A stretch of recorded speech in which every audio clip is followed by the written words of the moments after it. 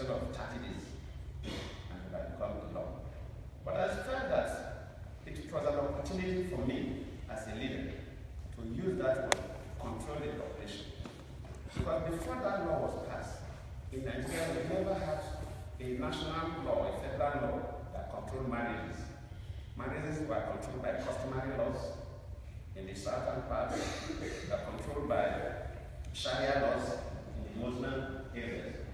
And maybe in the Christian areas, they are controlled by the English common law. And these are limited to the states. And the federal government has no control because except we have the, the law that govern and control marriages nationally, these powers were within the states.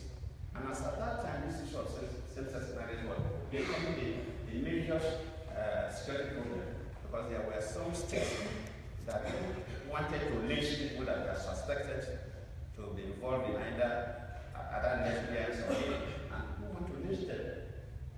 And the federal government had no law to regulate that, apart from is mother. But harassing people, there was no clear.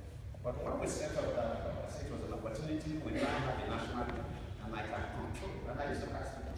Yes, they signed that bill into law. How many people have gone to jail? It gives the federal government the opportunity to manage the very delicate situation. And I also say that the issue of same-sex marriage is evolving. Even most of these just evolving. Maybe in the next few years, the story may be quite different, but that's at that time.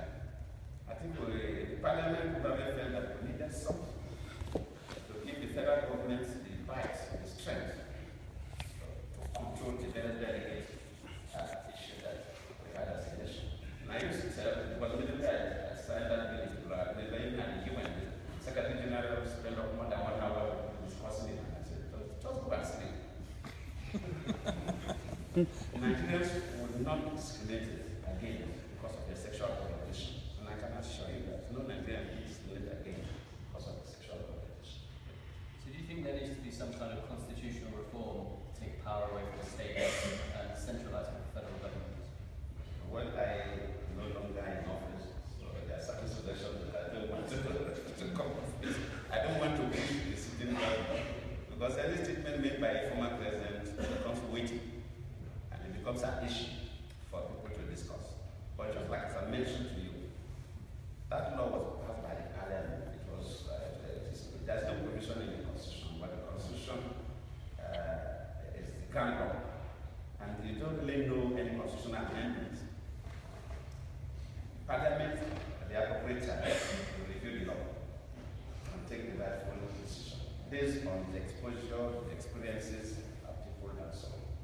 And when people are well educated and uh, people will no longer discriminate against people because of their sexual orientation, will do uh, what is uh, right for. You don't really need constitutional amendments. It's just an ordinary law. So there were many, many, many successes uh, during your tenure. There were also some quite tragic events, particularly in the north uh, with uh, Islamic extremism. Um, do you think the West had a role to play um, in thwarting these insurgencies, or do you think it's best um, sorted out by, by the government? No, no, no. Definitely the West has a role to play. Because I remember when the issue of Boko Haram terrorists, uh, when some young people started imitating what is happening, in the Asian countries, all them say that they are ISIS, uh, West and Central Africa. And they started linking out with some of this global terrorism. You know, they have problems in the hand.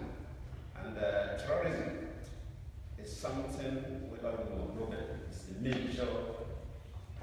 Even countries like Africa, as America, they still have challenges of terrorism. I personally wrote a letter to uh, President Obama, uh, a letter to the Prime Minister of the United Kingdom, the President of France, and some other countries. Not talk neighboring countries, but look, we must all come to an agreement to make this a divorce station. We don't have the technology to manufacture sophisticated weapons. So we rely on the West for this. And if we must confront terrorists, you need superior technology. Because these are people who are ready to die. They are suicide bombers. So you are dealing with people who want to die, but you wouldn't want your soldiers to die. And the only way you can be superior is to have superior technology, which we don't. And we can only get that from the West. So the West